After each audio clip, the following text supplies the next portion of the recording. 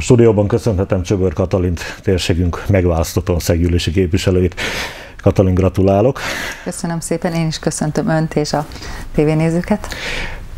Négy évvel ezelőtt én emlékszem, hogy amikor ugyanígy beszélgettünk a választás után, akkor rögtön feladat adódott, hiszen jött az árvíz. Mi az elmúlt négy évből, hogyha visszatekint, melyek azok a fő állomások, mérföldkövek, amelyek fontosak voltak ön szerint a politikai pályán? Igen, nagyon jól emlékszik, 2010-ben rögtön jött ez a iszonyatos mértékű árvíz Felső Zsolcán, de hála Istennek ott sikerült olyan téren megmérettetni magunkat, hogy újjá tudtuk építeni szinte Felső Zsolcát, a házak is megújultak, az utak is új burkolatot kaptak, intézmények újultak meg, és hát Felső Zsoltán többször is elmondtam, hogy ugye a jó gazdaságpolitika következtében a Felső Zsoltán adósságát is át tudta vállalni a kormány, de így számos településnek is az adósságát átvállalta a kormány, de a választókerületemre gondolva, tehát Miskolcot ideértve, Alsó-Zsolcát, Arnótot. Úgyhogy elég nehezen indult ezzel az árvízzel, de ha úgy visszatekintek a négy évre, én úgy gondolom, egy hatékony négy évet tudhatunk magunk után, hiszen a polgármesterekkel rendszeresen találkoztam a négy év alatt, szinte minden negyed évben munkareggeli keretében, és hát számos olyan pályázati lehetőségek voltak, amit ugye ki is tudtunk használni közösen, tehát annak egy csapadékvíz elvezetésre, utak megújítására, vagy például a biomassa kazán 100%-os támogatással való oda telepítése a, a választókerületem több településébe. Úgyhogy ha az önkormányzattal, a polgármesterrel és mondjuk Miskolcra is gondolok, az önkormányzati képviselőkre gondolok, és jól működünk együtt, akkor nagyon sok mindent meg tudunk valósítani együtt a, a település érdekében, és hát nyilván a lakosok érdekében. Ön szerint akkor ezt nézték hétvégén a választók, amikor a X-et behúzták az önneve mellé, illetve a Fidesz logója mellé a pártlistán?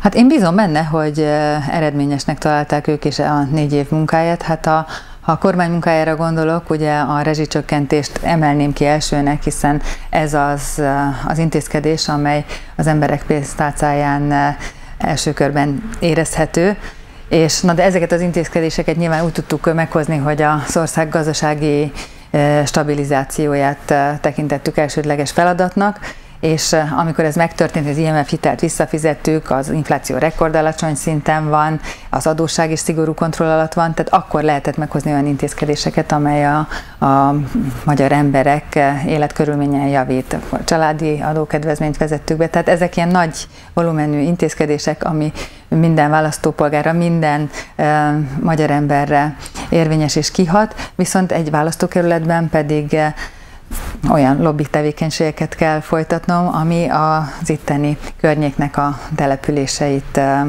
fejleszti, javítja és élhetőbbé teszi.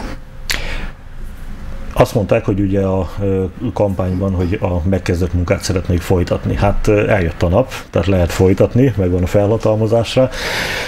Mi a következő feladat? Igen, tehát mi nem programot hirdettünk, hanem eredménykampányt folytattunk, amit elkezdtünk, azt akarjuk folytatni.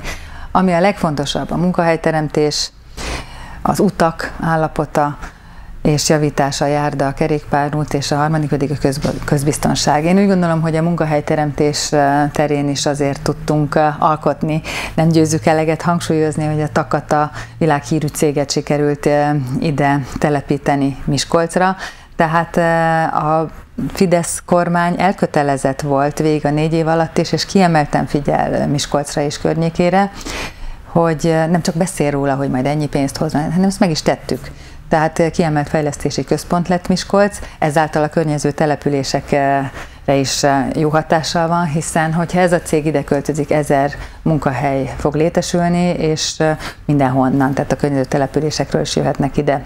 És azért azt mondják, hogy nem ez az egyetlen, tehát nem a takata az egyetlen, akikkel tárgyalnak, nem tudom, hogy mennyit lehet belőle elárulni. Én is csak a madaraktól hallottam, ciripelték, hogy azért itt német autógyártó céggel azért van komoly tárgyalás, és ugye az még kérdés, hogy Kassára vagy Miskolcra jön. Ugye tudjuk, hogy ugye a Bosch is még bővít, de emellett tényleg valóban folynak tárgyalások, és én is beszéltem több céggel is, de a cégek kér, kérik, hogy titkos legyen a, titkosak legyenek ezek a tárgyalások a verseny miatt. Tehát amikor már a, a top 5 fős listába kerül a települések, legyen az Miskolc, Alsó-Zsolca vagy Felső-Zsolca, akkor már úgy néz ki, hogy, hogy sikerülhet a, a megállapodás. Úgyhogy folyamatosan zajlanak ezek a, az egyeztetések, és azt kell mondanom, hogy ha ilyen nagy beruházás történik egy-egy ilyen ipari parkban, nyilván ezek külföldi vállalatok, de rá tud kapcsolódni sok kis magyar kis és középvállalkozás is. Tehát mindenféle szempontból ez csak erősít minket.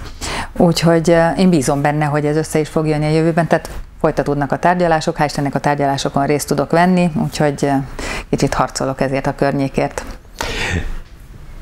A Fidesznél kevés nő volt, most is a választólistán ön az egyik kivétel ebből, üdítő kivétel, úgy szokták mondani, ugye. Mennyire a négy év tapasztalata alapján, mennyire nehéz nőként politizálni? Mennyire tud nő maradni, mennyire tud anya maradni? Hát igen, nem kis feladat.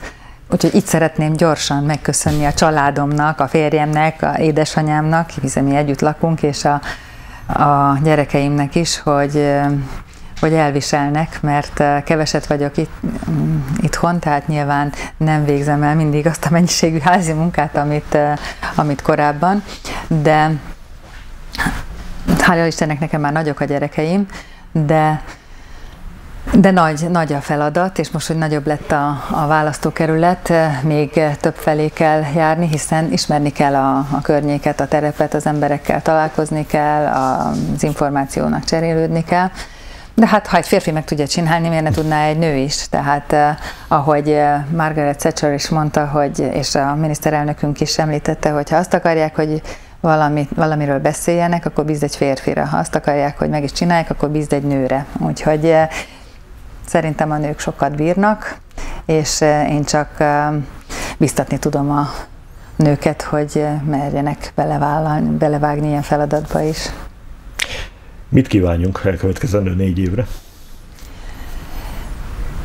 Először is azt kívánom magamnak, hogy azok az emberek, akik mögöttem álltak, ugye nem csak a családomról beszélek, hanem a munkatársaimról, a a csoportvezetőkről, illetve az önkormányzatokról, az önkormányzati képviselőkről, a, a segítőimről, akik mind mellettem és mögöttem voltak végig-végig, nem csak a kampányban, hanem a, a négy év alatt is, ők továbbra is mellettem legyenek, hittek és bíztak abban, hogy amit folytatunk, az jó, és az mindenkinek az érdeke lesz, hogy a munkámat úgy tudjam folytatni, ahogy elkezdtem az előző négy évben, és olyan dolgokat tudjunk alkotni, ami mindenkinek a megelégedésére történik, és hogy be tudjam bizonyítani nem csak ezeknek az embereknek, akik mellettem állnak szorosan, hanem mindegyik választópolgárnak is.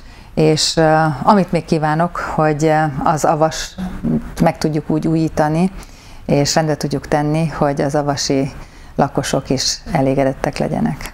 Igen, hiszen hát a mostani választásra ugye kibővült úgymond a ön választókerülete, tehát nem abban a választókerületben kellett most már kampányolni, amelyikben ugye négy évvel ezelőtt, hanem ehhez hozzá csapódott a Miskolci Avasi városrész is. Igen, tehát az a tapasztalatom, hogy Ugye a polgármesterekkel, a környetelepülések polgármesterével, hogyha együtt tudunk dolgozni, nagyon jó, hatékony munkát tudunk végezni. Itt Miskolcon a, nyilván a Fidesz-KDNP önkormányzati képviselőivel szorosabb a kapcsolat, és jobban tudunk együttműködni, összedolgozni, tehát több mindent tudunk megvalósítani. Most az Avason nem volt kormánypárti önkormányzati képviselő, nyilván a kapcsolat nem olyan szoros. Ezért is én szerintem jól választottak a mostani választópolgárok, hogy itt a Miskolc egyes választókerületében is megint rám szavaztak, és a Fidesz-KDNP jelöltje nyert, hiszen ugye országos szinten ismét Fidesz-KDNP kormánya lesz a Magyarországnak, és így még jobban tudjuk összehangolni a térség, Miskolc és a kormány közötti munkát. De önnek, bocsánat, mint országgyűlési képviselőnek nyilvánvalóan képviselnie kell azokat is, akik nem önre szavaztak. Mit üzen azoknak? Hát nyilván Miskolc nekem, Miskolc egésze nagyon fontos, és Miskolc érdekében mindent meg fogok tenni, hogy, hogy tovább fejlődjön.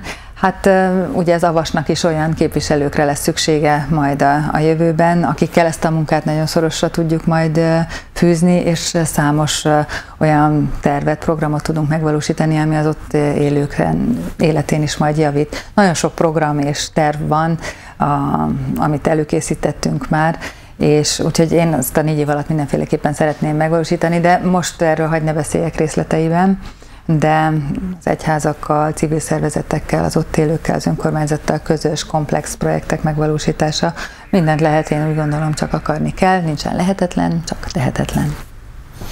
Csöbber Katalin, köszönöm szépen, jó munkát kívánunk, és remélem találkozunk hamarosan még. Köszönöm, hogy itt lehettem.